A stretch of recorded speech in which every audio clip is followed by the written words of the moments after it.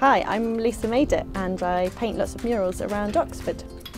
I would say I get my inspiration a lot from nature. I use um, lots of bright colours in my murals. They feature lots of plants and wildlife. I um, paint lots of different places, um, schools, hospitals, community centres. Um, so yeah, lots of inspiration taken from the local community.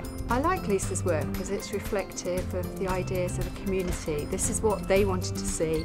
It's colourful, it's bright, it's joyful and it just makes everyone feel happy. So this mural came about as an extension of the Flower Lane mural, which is just uh, uh, just down the road there.